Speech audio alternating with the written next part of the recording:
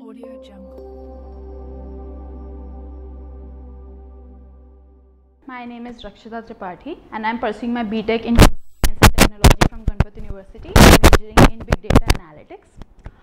Uh, specialization in today's era is really important as it focuses on bridging the gap between the industry and the theoretical academia.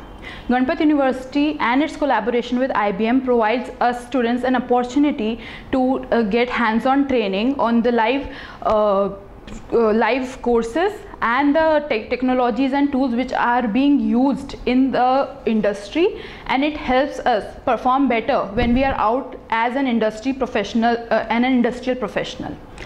Uh, my journey in ict has been quite smooth and seamless. All the faculty members and the supportive staff members have been very supportive and encouraging.